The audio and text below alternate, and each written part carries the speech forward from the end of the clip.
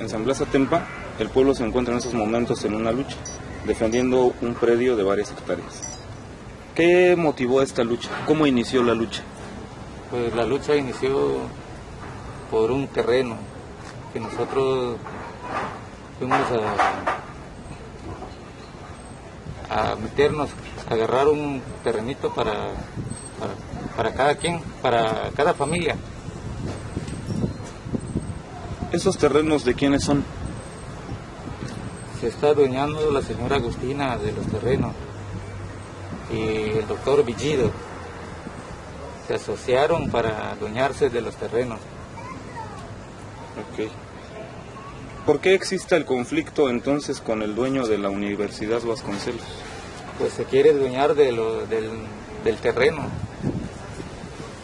¿Esos terrenos son comunales o son pequeñas propiedades? Comunales. Y ustedes son habitantes de San Blas. Sí. ¿Han habido agresiones contra ustedes? Sí, con los estatales nos, nos querían desalojar del- de los terrenos. ¿Qué más hizo la policía estatal?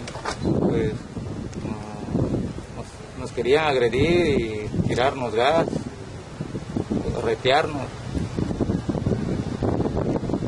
Ustedes se defendieron.